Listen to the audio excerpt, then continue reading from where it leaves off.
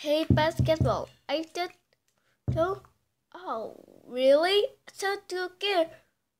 Uh, I figured you are did it too.